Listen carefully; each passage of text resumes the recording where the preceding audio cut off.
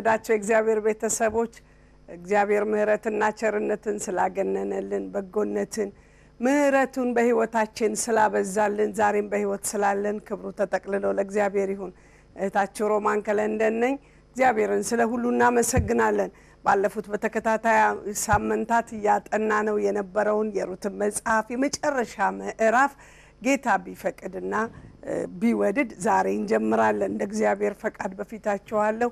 የሚያስተምር የሚረዳ አምላክ ሁልጊዜ እየረዳን በጣም በሚገርም ሁኔታ ለብዙዎቻችሁ ብዙ አይነት መልእክት እንደነበረው ብዙዎች በማበረታታት ደግሞም በብዙ መንገድ በእውነት እግዚአብሔር እንዴት እንደተናገራችሁ በቴሌፎን እንደገና በኢሜይል እየገለጻችሁልኝ ስላለ እግዚአብሔርን ስለ ሁሉ እናመሰግናለን። አብረን የእግዚአብሔርን ስራ ስለምንሰራ በእናንተ በእውነት በወገኖቼ ደስ ይለኛል። ክብር ለሱ ይሁን። ደግሞ ዛሬ ሁልጊዜ የሚያስተምር ትልቅ የታመነ አምላክ እንዲያስተምረን በእግዚአብሔር ፊት እንጸልያለን። ተባረኩልኝ። አብረን እንጸልኝ። አምላካችን ልዑል እግዚአብሔር ሆይ ልጆችሽ ከእግዚአብሔር የተማሩ ይሆናሉ፣ የልጆችሽም ሰላም ብዙ ይሆናል ያልክ አንተ ትልቅ ጌታ አቤቱ በቃልህ እውነት ሰላማችን እየተጠበቀ ስለሆነ እያስተማርክ ሰላማችንን በሙላት እየጠበቅ ያጣነውን እንድናገኝ የጣልነውን እንድናነሳ ከቆምንበት እንድንነቃነቅ በቃልህ እውነት እየመጣህ ለልባችን እየተናገርከን ስለሆነ በአብ በወልድ በመንፈስ ቅዱስ አንድ አምላክ ስም ክብር ላንተ እናመጣለን።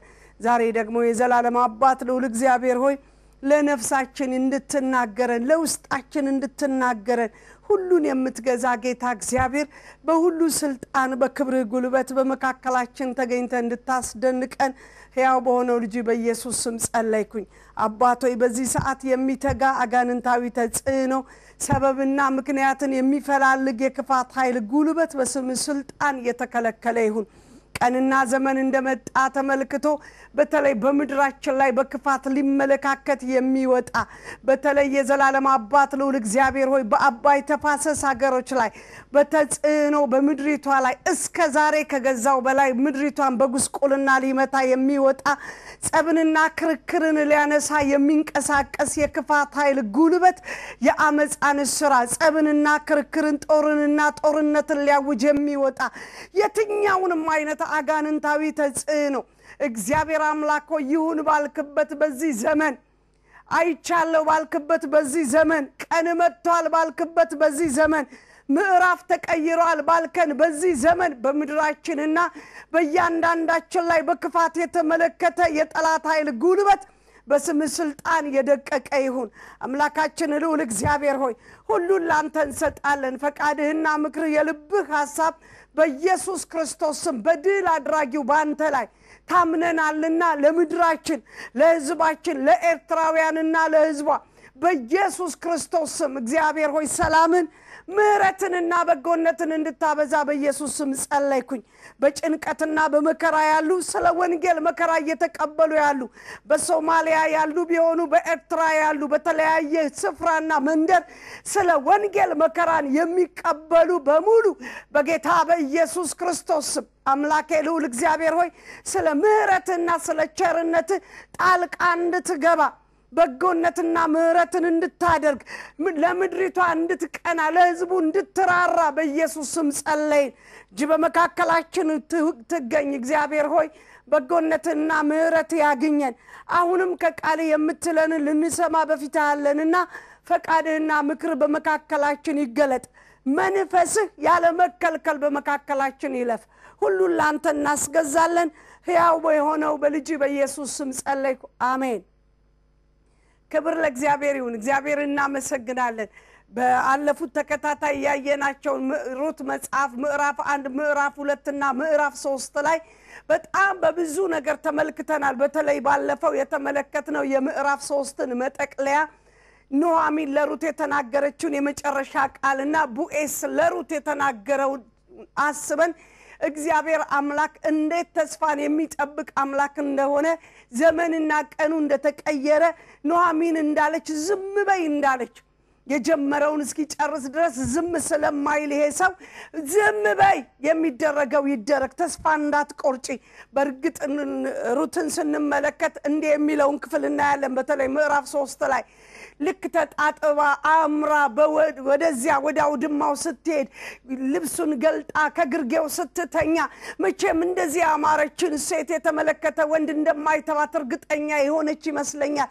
ተስፋዋ ለምልሞ ሄዳ እንዲህ አላት፣ በቃ በቃ ልክ ነሽ፣ የተናገርሽው ቃል እውነት ነው፣ ዘመኑ ነው፣ ቀኑ ነው፣ ጊዜው ነው ግን አሁን ወደ ቤትሽ ተመለሺ።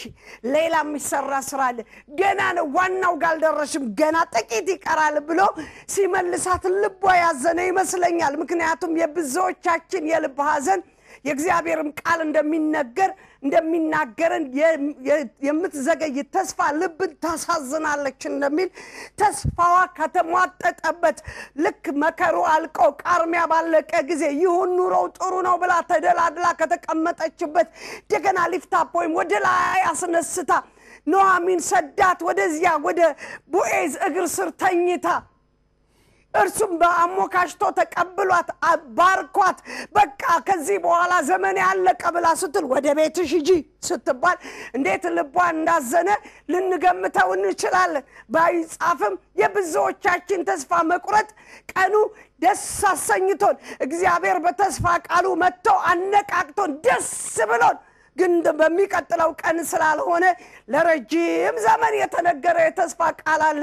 አንዲት እህቴ እንዲህ ብላ ኢሜል አደረገችልኝ። ገና ከብላቴንነቴ ጀምሮ ተስፋ ቃል ተሰጠኝ። አሁን ይሄን ያክል ዓመት ሆነኝ፣ ግን እስካሁን ተስፋ ብቻ ነው እንዲፈጸምልኝ ጸልይ። አሁን መጨበጥ እፈልጋለሁ አለች። እውነት ነው፣ የብዙዎቻችን ናፍቆት መጨበጥ ነው። አንቺ እህቴ እናገራለሁ፣ እግዚአብሔር የተናገረውን የተስፋ ቃል ሊያደርግ ቀን ይህ ዘመኑ ስለሆነ ክብር ለሱ ይሁን። ናሩትን እንዲህ አለቻት ኑኃሚን፣ በቃ በቃ ዝም በይ፣ ተስፋ እንዳትቆርጪ፣ ሰፈር እንዳትለውጪ፣ ቦታ እንዳትቀይሪ። ያ ሰው የተናገረውን ከማድረግ ወደኋላ አይልምና ዝም በይ አለቻት። ለብዙዎቻችን የተነገረው የተስፋ ቃል ዛሬ እምላችኋለሁ ልባችሁ ሞቆ እንደገና ወደ ታች ወረደባችሁ። እግዚአብሔር የተናገረውን ያደርጋል ብዬ ዛሬ እደግማለሁ። እግዚአብሔር እንደተናገረ ያለውን ያደርጋል። ክብር ለእግዚአብሔር ይሁን። እግዚአብሔር እንደተናገረ ሳራን አሰባት፣ ለሳራም አደረገላት። እንደተናገረ እንዲሁ እህቴ ላንቺ፣ ወንድሜ ላንተ፣ አባቴ ከነምጦት አይሞቱም እንደተናገረ እግዚአብሔር እርሶም ያያሉ፣ እናቴ እርሶም ያያሉ። እግዚአብሔር እንደተናገረ እንዲሁ ያደርጋል። ስለዚህ ዝም በይ፣ ዝም እንበል ወገኖቼ። የተናገረውን ያደርጋል። ተስፋ የሚያስቆርጥ ብዙ ነገር ልትሰሙ ትችሉ ይሆናል። ስለ ምድራችን ተስፋችን እየለመለመ ነው ስንል ደግሞ በዚህ በኩል መጥቶ ሽው የሚለው ድምፅ ልብን ውርድ የሚያደርግብን ተስፋ የሚያሟጥጥ በፍጹም አትሆንም ብለን ተስፋ ልንቆርጥ እንችላለን። ነገር ግን በዓይናችሁ ፊት እየታየ እግዚአብሔር አምላክ እንደተናገረ ኢትዮጵያን ይጎበኛል፣ ልጆቿንም ወደ አምላኳ ወደ እግዚአብሔር ታነሳለች። እናንተ ኤርትራውያን የተበተናችሁ ኢትዮጵያውያንና ኤርትራውያን እግዚአብሔር እንደተናገረ ለምድሪቷ ያለውን ከማድረግ የሚከለክለው የለምና በፊቱ ዝም በሉ፣ ዝም በሉ። እግዚአብሔር የተናገረውን ያደርጋል። ክብር ለእግዚአብሔር ይሁን። እንዲህ ብላ ነው ምዕራፍ ሶስትን የጠቀለለችው። አሁን ምዕራፍ አራት የዚህ የመጽሐፉ ዋና አንኳር የሆነው ክፍል የሚገኝበት እኔ እንዲያውም መጽሐፉ ብቻ ሳይሆን እንዳለ የመጽሐፍ ቅዱስን ዋናና ጠቅላላ ታሪክ የጠቀለለ እንደሆነ አስባለሁ። መጽሐፍ ቅዱሳችን ስለምን ይናገራል ብለን ስናስብ ስለ እግዚአብሔርና ስለ ሰው የእግዚአብሔር ፍቅር እንዴት ለሰው የእግዚአብሔር ፈቃድ ወደ ሰው የእግዚአብሔር ሀሳብ ወደ ሰው እንዴት እንደሆነ እንዴት ደግሞ እንዳያያዘ የምናይበት ዋናው አንኳር ሀሳብ በመጽሐፍ ቅዱስ እንዳለ እናውቃለን። ወደ ዋናው ጥላ የሆነው የብሉይ ኪዳን ሀሳብ ከፊት ለፊት ወዳለው የእግዚአብሔር ፈቃድና የእግዚአብሔር ምክር የእግዚአብሔር ሀሳብ እውነት እንዴት እንደሚጠቀለል የምናይበት ክፍል ነው። እና እንደዚህ ይለዋለሁ ይሄኛውን ክፍል እኔ የመጽሐፉ ዋና እምብርት እንደሆነ አስባለሁ። ስለዚህ በተለይ ምዕራፍ አራትን ምናልባት አንድና ሁለት ሳምንት ልናየው እንችላለን።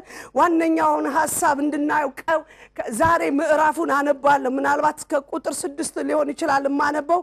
እሱ ድረስ አነብና ከዛ በኋላ እግዚአብሔር መንፈስ እንደሰጠን ያለችን የአየር ሰዓት ጥቂት ስለሆነች ነው ትንሽ ትንሿን የምንመለከተው። መቼም እንደው እግዚአብሔር ረድቶ ረጅም ሰዓት ቢሆን የምንነጋገረው ዋና ዋናውን እንደምንይዝ አስባለሁ። ግን ቢሆንም በዚህም አንድ መልእክት እንደሚኖር እርግጠኛ ነኝ። ጌታ ኢየሱስ የተባረከ ይሁን። እኔ መቼም ስለ ትዕግስታችሁ በእውነት ጌታን ስለ እናንተ ባርካለሁ። የተባረከው አምላክ እግዚአብሔር ይባርካችሁ። ክፍሉን አነበዋለሁ። እንደዚህ ይላል። ቦዔዝም ወደ ከተማይቱ በር አደባባይ ወጥቶ በዚያ ተቀመጠ። እነሆ ቦዔዝ ስለ እርሱ ይናገር የነበረው የቅርብ ዘመድ ሲያልፍ ቦዔዝ አንተ ቀርበህ በዚህ ተቀመጥ አለው። እርሱም ቀረብ ብሎ ተቀመጠ። ቦዔዝም ከከተማይቱ ሽማግሌዎች አስር ሰዎች ጠርቶ በዚህ ተቀመጡ አላቸው። እነርሱም ተቀመጡ። ቦዔዝም የቅርብ ዘመዱን ከሞዓብ ምድር የተመለሰችው ኑኃሚን የወንድማችንን የአቤሜሌክን ጢንጦ ትሸጣለች። እኔም በዚህ በተቀመጡት በሕዝቤ ሽማግሌዎች ፊት እንድትገዛው አስታውቅህ ዘንድ አስባለሁ። መቤዠት ብትወድድ ተቤዠው፣ መቤዠት ባትወድድ ግን ከአንተ በቀር ሌላ ወራሽ የለምና እኔም ከአንተ በኋላ ነኝና እንዳውቀው ንገረኝ አለው። እርሱም እቤዣለሁ አለው። ቦዔዝም እርሻውን ከኑኃሚን እጅ በምትገዛበት ቀን ለሞተው በርስቱ ስም እንድታስነሳለት ከሟችም ውስጡ ከሞዓባዊቱ ከሩት ደግሞ ትገዛለህ አለው። የቅርብ ዘመዱም የራሴን ርስት እንዳላበላሽ መቤዠት አልችልም እኔ መቤዠት አልችልምና አንተ ከእኔ መቤዠቱን ውሰደው አለው ይላል። ክብር ለእግዚአብሔር ይሁን። በጣም የሚገርም ስፍራ ነው። የሚገርም ክፍል ነው የምንመለከተው። በዚህ ስፍራ ላይ ስንመለከት እንደዚህ ይላል። ልክ ኑኃሚን እንደተናገረች ዝም አይልም ይሄ ሰውዬ እስኪ ጨርስ ድረስ ስለማያርፍ፣ አንቺ ግን በፊቱ ዝም በይ እንዳለቻት በፊቱ ዝም ብላ ትጠብቅ እንደነበረ እንደተባለውም በማግስቱ ተነስቶ ቀጥታ ወዴት ሄደ ይላል? ወደ በር አደባባይ። በእስራኤል በድሮ ዘመን የነበረው ሕግ እንዲህ የሚደረግ ነው። በበር አደባባይ ላይ ሰው ይቀመጣል። መዳኘት የሚፈልገውን መፈረድ የሚፈልገውንም ሰው አጠገቡ ያስቀምጣል። ከዛ ደግሞ የአገሩን ሽማግሌ ይደረድር ያስቀምጥና ምስክር ያቆማል። ስለ ሽማግሌዎች ፍርድና ደንብ ስንመለከት ገና ከመጀመሪያው ሙሴ እስራኤላውያንን ሊያስተዳድር በጀመረ ጊዜ ሸክሙ በከበደው ጊዜ የአማቱ እንዲህ አለው። ዮቶር መጣና እንግዲህ ሕዝብ እየበዛ አንተ የምትቋቋመው አይደለም፣ ልታስተዳድረው አትችልም። ስለዚህ በየረድፉ በየረድፉ አለቃ አስቀምጣለሁ። ያ እነዛ አለቆች በየረድፉ ይፍረዱ። የከበደ ነገር ሲኖር ወደ አንተ ያምጡ፣ አንተም የከበደውን ወደ አምላክ ታቀርባለህ። እንዲህ ነው ሕጉ ብሎ ሸክም አቅልሎለት እንደነበረ እናውቃለን። ከዛን ጊዜ ጀምሮ የሽማግሌዎች ፍርድና ምስክርነት እንደተጠበቀ፣ ዳኝነታቸው እንደተጠበቀ ነው የመጣው። ይህንን የሚያውቀው ሕግና ስርዓትን የተሞላው በተለይ ባለፈው እንደተመለከትን እንዴት ዝቅ ያለ ሰው እንደሆነ አገኘው ብሎ አፈፍ ያላደረገ ልክ ሩት እንደናፈቀችው በቃ ከዚህ ጀምሮ ሚስቴ ትሆኛለሽ ብሎ ከእሷ ጋር ያልተነካካ ያልተዳፈረ በንጽህና ራሱን የጠበቀ ከሱ ይልቅ መልካም የሆነች ሴት መታለት፣ የተዋበች ሴት መታለት። ከሱ ይልቅ ግን የሚበልጥ ከሱ ቀረብ የሚል እንደ ሕጉ እንደ ደንቡ የሆነ ሰው እንዳለ ስለገባው ራሱን ገዝቶ ለሚመለከተው እንዴት እንዳስተላለፈ አይተናል። አሁን መጣና እንዲህ አለ እኔን ላነሳ ሲገባኝ ሳለ ያቺ ሩት መታ አስታውሳኛለች። ልክ ነች፣ ግን ደግሞ ከእኔ እንደምትቀርብ ስለገባኝ አሁን አንተን ላሳስብ እፈልጋለሁ። በልና ተቀመጣልና ያንን የቅርብ ዘመዱን አስቀመጠ። ምን ለማድረግ እንድትቤዥ። ሽማግሌዎች አድምጡ፣ ስሙኝ። አንድ ወንድማችን ነበረ እሱን ደግሞ ሁላችንም እናውቀዋለን። አቤሜሌክ ከሁለቱ ልጆቹ ጋር ሚስቱን ይዞ እንደሄደ እናውቃለን በረሃቡ ዘመን። አሁን ግን ሚስቱ ስትመጣ አቤሜሌክ ያለ ልጆች ነው፣ ያለ ልጅ ልጅ ነው። ስሙን የሚያስጠራ ምንም ነገር የለውም። ስለዚህ አቤሜሌክ እንደው ጸጥ ብሎ ይቅር፣ ወልዶ እንዳልወለደ ይሁን። አይሆንም። አቤሜሌክን የሚታደግ የአቤሜሌክን ዘር የሚያወጣ አንድ ሰው ያስፈልጋል። የሚቤዠው ሰው ያስፈልጋል። አቤሜሌክ እርሻ ነበረው፣ እንደኛ ወንድ ነበረ፣ ያርስ ነበረ። በትውልዱ መካከል የተገባውን ርስት ተቀብሎ ርስቱን ያርስ ነበር። አሁን ግን የተወለደ ዘር ስለሌለው ልጅ ስለሌለው የልጅ ልጅ ስለሌለው ጥፍት ብሎ ተለይቷል። አለቀ፣ ተሟጧል የአቤሜሌክ ጉዳይ። ስለዚህ ግን እኔና አንተ ይመለከተናል። ከኔ ይልቅ አንተ ይመለከታል። የአቤሜሌክ ርስት ከንቱ ሊሆን አይገባም።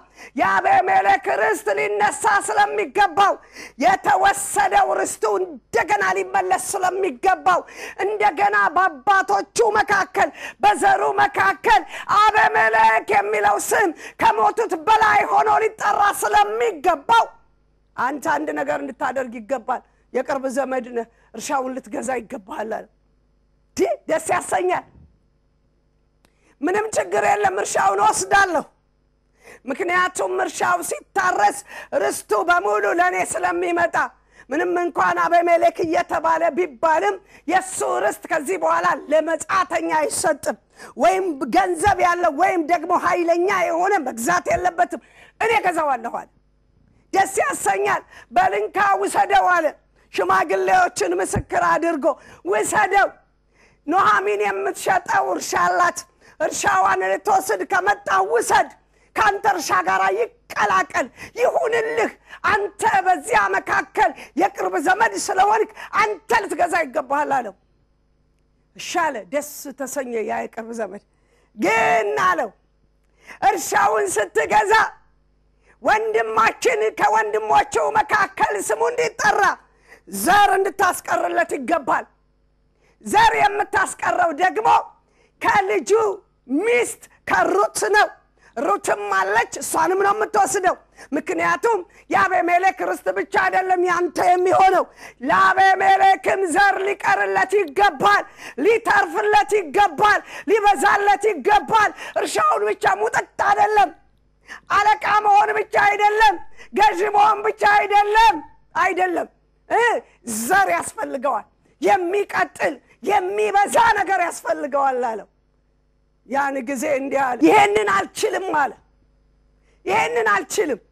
ስለዚህ አንተው ግዛ፣ አንተው ተቤዥ አለው። ስለ መቤዠት ስንመለከት መቤዠት የተሸጠው ወይም የተወሰደው ራሱን ችሎ ሊቋቋምና ነፃ ሊሆን የማይችል ነገር ግን ነፃ ሊያወጣ የሚችለው ለዚህ ሰው ምንም ከሱ ጉልበትን ሳይጠይቅ እንዲሁ የሚታደግ እንዲሁ የሚገዛ ነው። ከኑኃሚን ርስቷን ከመጻተኞች ወይም ቀድመው ከነጠቋት መግዛት ችግር አልነበረም። ምክንያቱም እርሻ ነው፣ መሬት ነው፣ ይታረሳል። ስለዚህ ችግር የለም። ግን ዘር የሚባለው ጉዳይ ግን መተካት ደግሞ ከባድ ነው። ስለዚህ ይሄኛውን መቤዠት አልችልም። መቤዠት የሚችለው ጥቂት ጥቂቱን ነው። በቃ መቤዠት የሚችለው ለእኔ ለእኔ የሚሆነውን ነው። መቤዠት የሚችለው ክብሬን የማይነካውን ነው። መቤዠት የሚችለው ቤቴን ሳይነካካ የሚሆነውን ነው። ለቤቴ ጥቅም የሚሆነውን ነው። ክብሬን እንደጠበቀ ስሜን እንደጠበቀ የሚሆነውን ነው። ክብሬን ዝቅ ማድረግ አልችልም አልችልም። እስከዚህ ድረስ ነው የሚበዠው። ልታደግ ከተባለ ልግዛ ከተባለ ምገዛው ማስተዳድረው እኔን እስካልነካኝ ክብሬ እንደተጠበቀ ሆኖ የሚቆይ ከሆነ ልጆቼም ቤቴም ሚስቴም ብዬ ራሴን ችዬ የምቀመጥ የእኔ ይበቃኛል፣ ተዋው አለው። ቦኤዝ እንዲህ አለው፣ ቦኤዝን አንተው ተቤዠው አለው። አንተ ራስህ ተቤዠው። መቤዠት ከወደድህ እስከዚህ ልትቤዥ ከፈለክ ዘር እስከ ማስቀረት አቤሜሌክን ከትውልዱ መካከል የአቤሜሌክ እርሻ ነበረ፣ እኔ ወሰድኩት እያልኩ ነበር ልኖር የምፈልገው። ነገር ግን የአቤሜሌክ እርሻ የአቤሜሌክ እንደሆነ የሚቆየው ደግሞ ከልጁ ሚስት በመውለድ ዘር በማፍራት ከሆነ እሱ የኔ አይደለም። እንዲያፈራ ማድረግ የኔ አይደለም። ታውቃላችሁ ወገኖቼ፣ የሚቤዥ ሰው ሙሉ ስጦታ ነው የሚሰጠው ሙሉ መሰጠት ነው የሚሰጠው። ይሄ ሰው ግን ልኩን ጠብቀው እኔን እስካልነካ ድረስ ብቻ ነው የራሴን ርስት እንዳያበላሽብኝ። እኔ የራሴ ርስት ይበቃኛል። ሌላ ተጨማሪ ነገር አልጎትት። ምክንያቱም ደግሞ ርስት ሊካፈል ነው። ከማ የተወለደው ከሩት የተወለደው ከእኔ ዘሮች ጋር ከሌሎቹ ጋር አብሮ ርስት ሊካፈል ነው። ይቅርብኝ፣ አልችልም፣ ይቅርብኝ። የኔ የኔ ነው የግሌ ነው አለ። የተከበረው የተፈለገው ሰው እንዲህ አለ። ያ የተወደደው ሰው እንዲህ አለ። ስለ መቤዠት ሳስብ አንድ ነገር በጣም ይደንቀኛል። እና ይሄንን የሚያውቀው ቦዔዝ እንዲህ አለ። እኔ አንተ ካልወሰድከው ወስደዋለሁ ነው ያለው። አንተ ካልተቤዠ ርስት ገዝተ አዎ ርስት ገዝቼ እሷንም እሷንም ወስዳለሁ ዘር ታስቀርለተ አዎ የመጀመሪያው የበኩሩ የአቤሜሌክ ስም ይጠራበታል አለ ለምን? ይህቺ ሴት ማን እንደሆነች ገብታኛለችና ስለ እሷ እንዲቆማለሁ አለ። ወስዳለሁ አደርገዋለሁ አለ። ወገኖች የመቤዠት ነገር ቁም ነገሩ እዚህ ነው ያለው። ዋናው ሀሳብ እዚህ ነው ያለው። ታውቃላችሁ ቅድም ስጀምር እንደተናገርኩት የዚህ የመጽሐፉ ዋና አንኳር የውስጠኛ ዋናው ክፍል ያለበት ክፍል የዚህ ነው። ይህንን መጽሐፍ ደግሜ ደግሜ ሳነበው የተሰማኝን ደስታ ልነግራቸው አልችልም። እንዲህ እግዚአብሔር አምላክ ትልቁ ጌታ። ሰውን እንዲሁ ስለወደደ ሰው ከመፈጠሩ በፊት በአንደኛው ቀን በሁለተኛው በሶስተኛው በአራተኛው ቀን የሰራውን አመቻችቶ ሲጨርስ ሰውን እንደ መልኩና እንደ ምሳሌው አበጀ። ደግሞ በእጁ ነው ያበጀው። ሌሎቹ በትእዛዝ ቃል ነው የተሰሩት። እሱ ግን በእጁ አበጀውና ከሱ የሆነውን የህይወት እስትንፋስ እፍ አለበት ስለዚህ ሰው ህይወት ያለው ህያው ፍጡር ሆነ ይላል። የማይሞት ህያው ፍጡር ሆነ። ያን ጊዜ እግዚአብሔር ደግሞ ምን አደረገ? በልና አለውና ሰውን አቆመውና በል ምን አድርግ? እነዚህን እንስሶች በሙሉ ስም እየሰጣቸው ይለፉ ብሎ እውቀትን ሰጠው። አንተ ነህ ምድርን የምታበጅ የምታበጃጃት። ለምድር ለሰው የሚገባውን በምድር ላይ አብቅለው አዋፋትን ሰጥቶ እጽዋትን ሰጥቶ እንደገና ደግሞ አራዊትን ከትልቅ እስከ ትንሽ ድረስ በፊቱ እያሳለፈ ስም ሰጥቶ እንዲያስተዳድር እንዲያበጅ ለሰው ተወለት።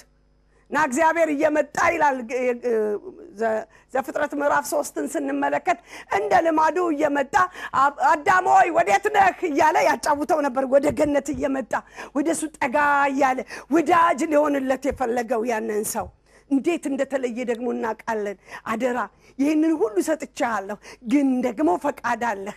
ከእኔ ጋር ያለው ግንኙነት ጥምር ያለ እንዲሆን ከዚች ከበለስ ዛፍ እንዳትነካ ብሎ እግዚአብሔር አዞት። እንዴት ከዛ የተነሳ የመጣ ኃጢአት እስካሁን ድረስ በዘሮቻችን መካከል እያለፈ እኛንና እግዚአብሔርን እንደለየን እናውቃለን። ያ እግዚአብሔር ሰው ምን ሆኗል? ተለየበት። ከኃጢአት የተነሳ ሙት ሆነ አፈር ነህ ወደ አፈር ትመለሳለህ ተባለ። ከዚያ ቀን ጀምሮ ከእግዚአብሔር ጋር ተለየ። ሩቅ ሆነ። የእግዚአብሔር የነበረው እግዚአብሔር ርስት አድርጎ ምድርን ሰጥቶት የነበረው ያ ሰው ያ ወዳጁ ተለየው። ከኃጢአት የተነሳ ካለመታዘዝ የተነሳ ካለመስማት የተነሳ ተለየው። ከዛን ዘመን ጀምሮ እኔና እናንተም ከኃጢአታችን የተነሳ ምን ሆንን? ሙታን ተለየን ከእግዚአብሔር ተራራቅን። ታዲያ እግዚአብሔር እንዴት አድርጎ ሰውን ወደ ራሱ ፈቃድ ወደ ልቡ ሀሳብ እንደሚያመጣው ይፈልግ ነበር? እና ያደረገውን ስንመለከት በሙሴ ህግን እንደሰጠ እናያለን። ህግን ሰጥቶ መተዳደሪያን አበጅቶ ሰው በደም ስርየትን እንዲያገኝ የኃጢአት ስርየቱን እንዲያገኝ ለሰው የደም መስዋዕትን እንዲያቀርብ ካህንን በመካከል አቁሞ የነበረውን ኃጢአቱን በሙሉ በዚያ በእንስሳው ላይ በእርግብም ቢሆን በዋኖስም ላይ ቢሆን ኃጢአቱን አስቀምጦ ደግሞ ይታረድና ደሙ ምልክት እየተደረገበት ከኃጢአት ልዩነት ይሆን ነበረ። ይህ ልዩነት እጅግ የጸና ነበረ የጸና ልዩነትና መራራቅ ነበረ። ያንን መራራቅ እንደገና ሊያስታርቅ የሚችል አንድ ልጅ ያገኘ። ሃሌሉያ! የተለየውን የተወሰደውን የሰው ዘር የሚዋጅበት አዲስና ብርቱ መንገድ አገኘ። እርሱም የእግዚአብሔር ልጅ የተባለው ኢየሱስ ክርስቶስ። ሃሌሉያ! ታውቃላችሁ ሩት እንዲህ ነው ያደረገችው እግዚአብሔር ህዝቡን ስለጎበኘ ህዝቡን የሚጎበኝ አምላክ አምላኬ ይሆናል ብላ ጨክና መጣች። ያ የሚጎበኝ እግዚአብሔር ያ ቃርሚያን እንድት ብትቃርምም ይሁንልኝ ብላ የጠበቀቻች ሴት የምትጎበኝበት ዘመን መጣ። ያ የመጎብኛዋ ዘመን ደግሞ በመቤዠት ሊጠቀልል የሚገባው ነው። እርሱም ከዚህ በኋላ ርስቱ የእሱ የሆነ እንዲሆን ለአቤሜሌክ እንደገና ደግሞ ዘር ልትተካና ልትበዛ እንድትችል የሚያደርግ ታላቅ መቤዠት ለአቤሜሌክ እንዲሆንለት እግዚአብሔር አምላክ ቦዔዝን አዘጋጀ። ስሙንና ክብሩን ሊያወዳጅ ሊያቀናጅ፣ ደግሞም እግዚአብሔር እንደተናገረ ማድረጉን ሊያሳይ ለእኔና ለእናንተም አንድ ልጁን ሰጠንና ቅድም እንዳልኳችሁ የተለየነውን ሊያስታርቅ በደሙ መስዋዕትን ከፈለ። ኢየሱስ ያድናል። ስለዚህ ወገኖች እዚህ ጋር ቆማለሁ። ጌታ ቢፈቅድ የሚቀጥለውን በሚቀጥለው ሳምንት እናያለን። እዚህ ላይ ነው በደንብ አብስሬ መናገር የምፈልገው። እኔና እናንተ ከኃጢአታችን የተነሳ የተለየን ነበርን። ነገር ግን ከኃጢአት የራቅ የተነሳ ከእግዚአብሔር ቤት ርቀን ለነበረው መቅረብ እንዲሆን እግዚአብሔር የመቤዠትን ዋጋ ሊሰራልን የሚችል ቤዛነትን በሱ ያደረገውን አንድ ልጁን ኢየሱስን ሰጠን። እናንተ ከኃጢአት የተነሳ የራቃችሁ ወደ እግዚአብሔር መንግስት እንደገና ወደ ፍቅሩ መንግስት መምጣት የምትፈልጉ የሚጎበኘው እግዚአብሔር እየጎበኘን ስለሆነ ልጎበኝ እፈልጋለሁ የምትሉ ከኔ ጋር እጃችሁን አንስታችሁ አብረን እንጸለያለን። ይገባዎታል አባቴ፣ ይገባሃል ወንድሜ፣ ይገባሻል እህቴ ይገባችኋል፣ ይገባናል ወገኖቼ። የራቅነን ሁላችንም ከኃጢአት የተነሳ ሙታን የሆንነን ልዩነት ሆኖብናል። ጠላት ሰይጣን ደግሞ ገዝቶና ያለው ከሰይጣን ግዛት ነፃ የሚያወጣ የእግዚአብሔር ልጅ ኢየሱስ ለእኔና ለእናንተ መጥቷል። መቤዠትን አድርጎ ሊቤዠን ወዷል። ስለዚህ እጆቻችንን አንስተን በእምነት እንጸልያለን።